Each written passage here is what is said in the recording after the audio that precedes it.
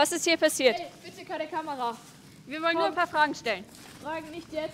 Was ist hier passiert? Was ist das Erste, an das Sie sich erinnern können? Das Erste, woran ich mich erinnern kann.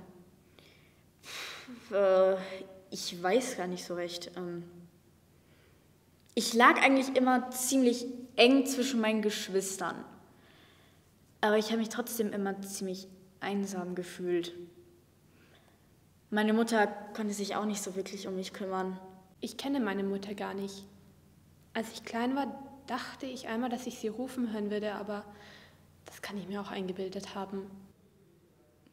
Dunkelheit, Gerüttel. Ich war eingepfercht mit, mit tausenden anderen. Ohne Essen, ohne Wasser. Ich glaube, ich war nie in meinem Leben so durstig.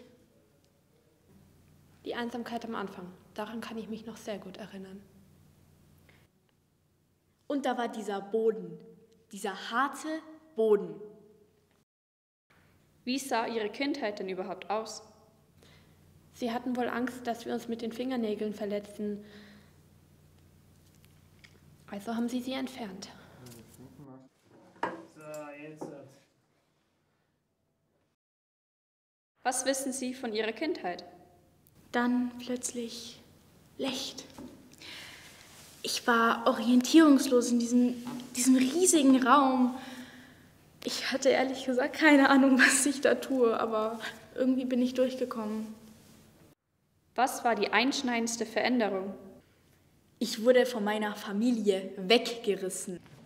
So, jetzt halt doch mal still, du dumme Sau!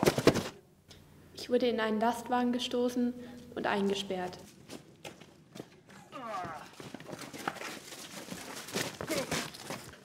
Und rein!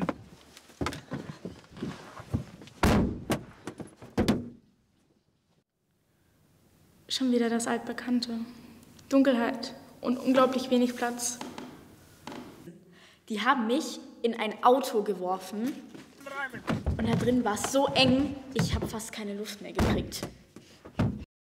Wie verlief Ihr Leben danach? Ich wurde da mit lauter Gleichaltrigen zusammengesperrt und wir mussten wirklich um jeden Zentimeter Freiraum kämpfen. Es wurde noch schlimmer, als ich mir das Bein gebrochen habe. Niemand kam, um es zu behandeln, und dann hat es sich auch noch entzündet. Es war katastrophal. Wir hatten nichts, nicht mal Toiletten. Es war so entwürdigend. Und krank wurden wir auch noch davon. Ich habe eng gedrängt mit anderen arbeiten müssen. Überall waren andere, neben mir, unter mir, über mir. Man war nie allein. Welches Erlebnis hat Ihnen am meisten zugesetzt? Der Arbeitsdruck, er war enorm und die, die nämlich standhalten konnten, sie sind vor Erschöpfung zusammengebrochen und wurden erst einige Zeit später weggeschafft. Mein einzigster Freund, er, er wurde zuerst krank und dann konnte er die Enge nicht mehr aushalten. Er ist daran zerbrochen. Am Schluss haben sie ihn weggebracht. Ich habe ihn nie wieder gesehen. Meine Kinder, sie haben mir meine Kinder weggenommen, alle meine Kinder.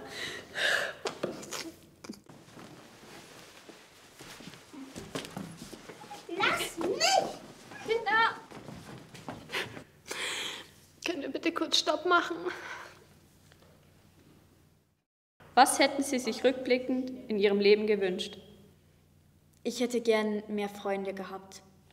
Mehr wirkliche Freunde.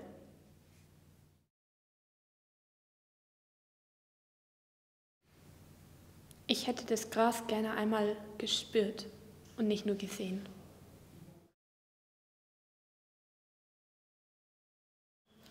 Mehr Platz. Ich habe mir schon immer mehr Platz gewünscht.